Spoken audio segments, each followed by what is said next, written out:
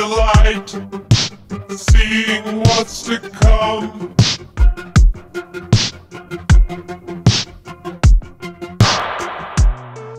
The image of the dead, dead ends.